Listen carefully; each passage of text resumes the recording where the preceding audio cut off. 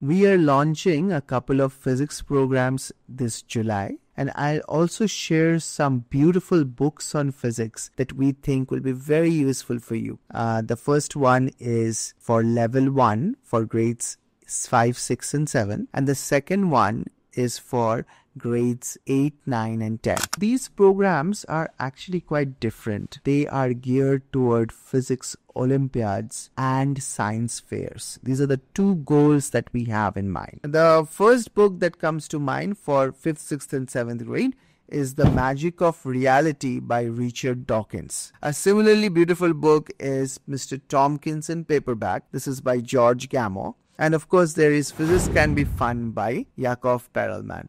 It's a wonderful, wonderful book. So, uh, an ideal book for that is Gleam in the Eye. It's uh, authored by Manish Jain, Ravi Sinha, and uh, there is a lot of illustration by Nidhi Gupta. It's a very beautiful book. And of course, the quintessential uh, Richard Feynman's books, Lectures on Physics, Volume 1, will be very useful at this stage 8th, 9th, and 10th grade. Check the links in the description and you can apply for the trial program.